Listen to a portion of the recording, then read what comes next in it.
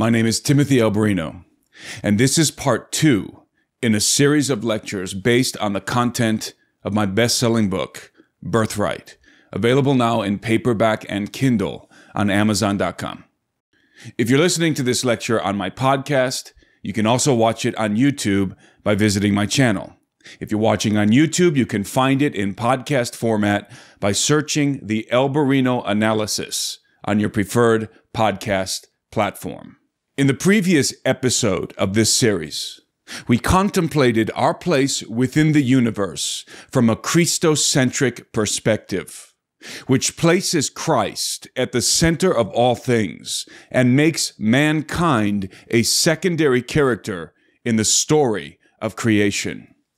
In this episode, I would like for us to consider the other characters in the story, namely our extraterrestrial elder siblings, a race of beings ambiguously denominated as angels in the biblical narrative.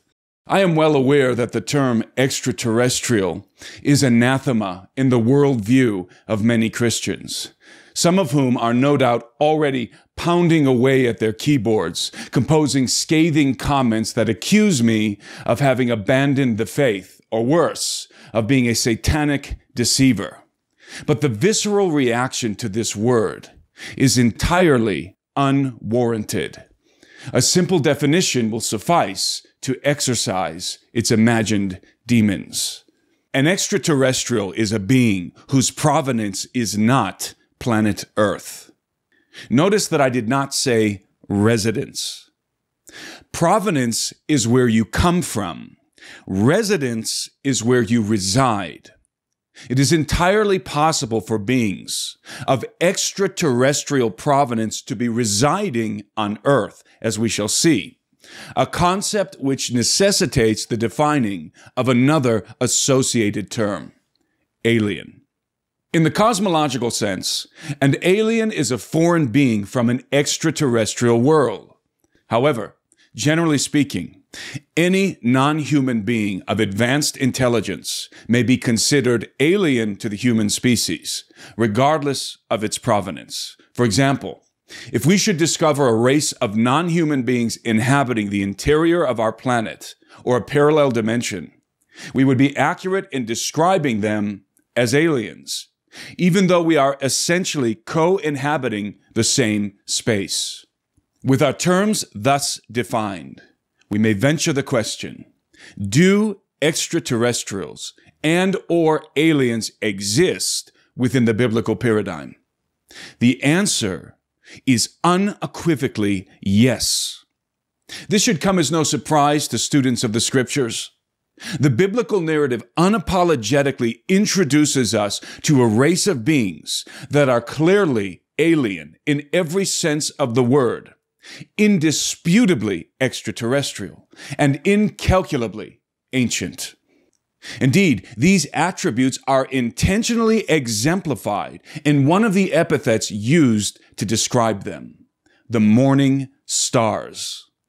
The extraterrestrial provenance of the morning stars is plainly communicated to Job by the Maker himself. Where were you when I laid the foundations of the earth? Tell me if you have understanding. Who determined its measurements? Surely you know. Or who stretched the line upon it? To what were its foundations fastened? Or who laid its cornerstone when the morning stars sang together and all the sons of God shouted for joy? We may deduce two logical conclusions from these verses. First, that they are not referring to literal stars, but the sentient sons of God. And second, that these sons of God are older than the earth itself, since they were present to witness its primordial formation. The motif of the morning star in biblical parlance is meant to convey pre-existence and preeminence. Like the planet Venus and other celestial luminaries visible at first light. The morning stars are children of the dawn.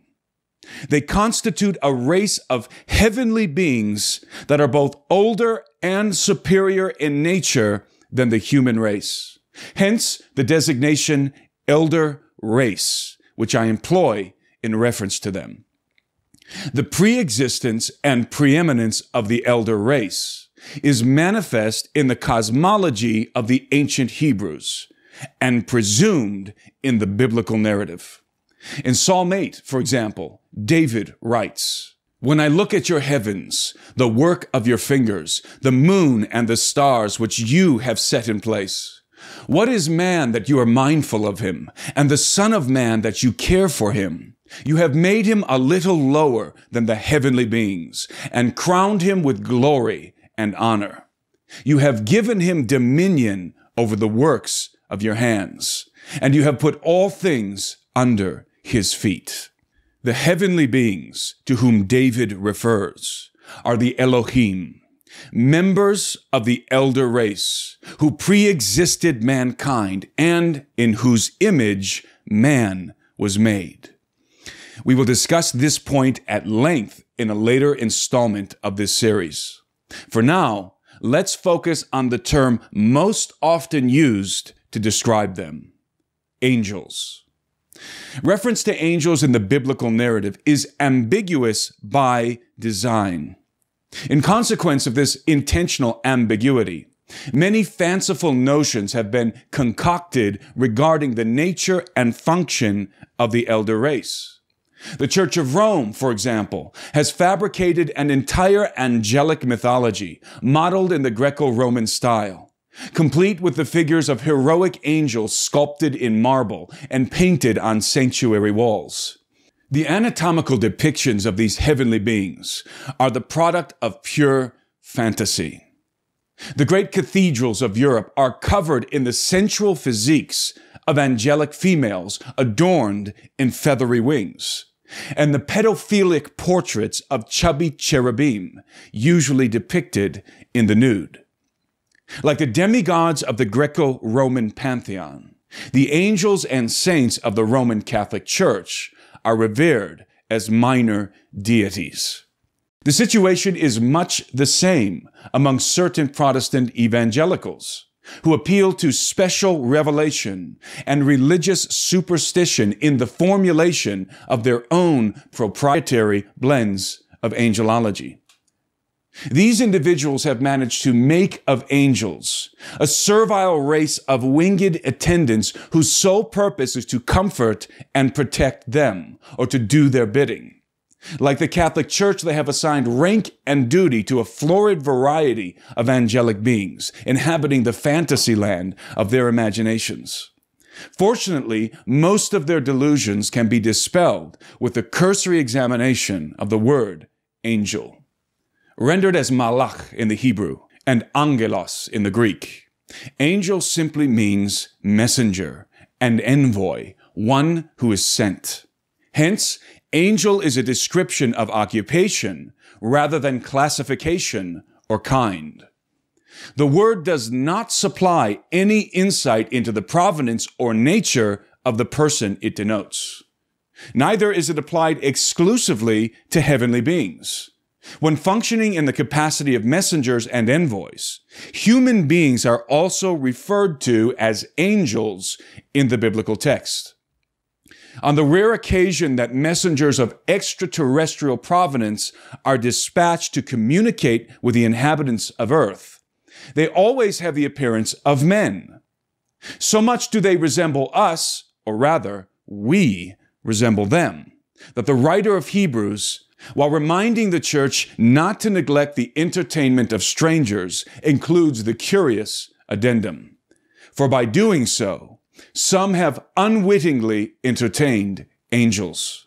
Quite contrary to Renaissance imagery, there are no occurrences of female angels recorded in the scriptures. In fact, a feminine form of the Greek word angelos does not even exist.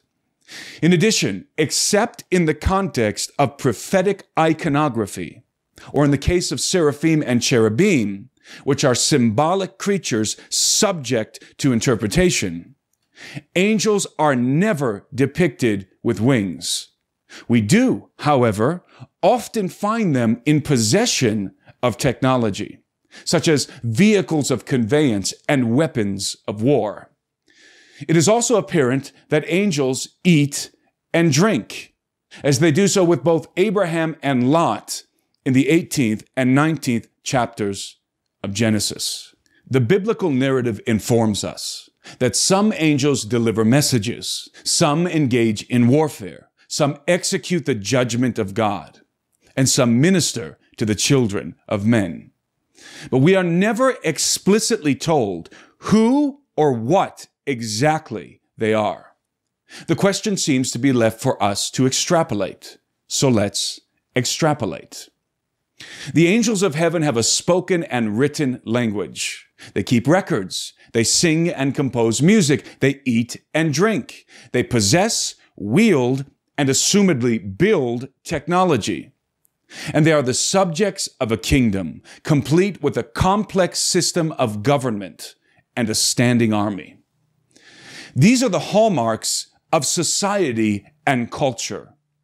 It is therefore rational to conclude that the non-human angelic beings depicted in the scriptures are the citizens of an advanced extraterrestrial civilization that predates our own. Mankind did not invent civilization. He inherited it. The benchmarks of a civilized society, sophisticated bureaucracy, social hierarchy, a criminal justice system, refined spoken and written language, technological advancement, military organization, and so forth, were already existent in the universe before Adam emerged from the earth and clay.